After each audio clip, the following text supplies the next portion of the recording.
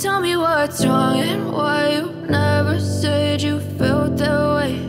And guess you're trying to stay strong and fake a smile until